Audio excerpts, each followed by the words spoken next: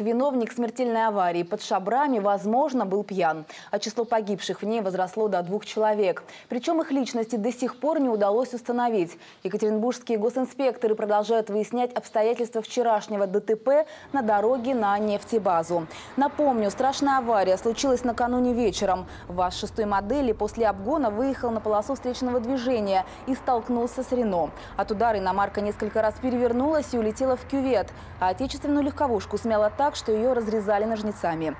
Ее водитель погиб на месте. Трое пассажиров машины попали в больницу, где сегодня скончалась женщина, сидевшая на переднем сидении. Личности жертв продолжают устанавливать. На месте происшествия дознаватели не нашли никаких документов. Сотрудники полиции предположили, что погибшему мужчине 40-45 лет, а женщине около 30. Скорее всего, рулевой был не трезв, как и все его пассажиры.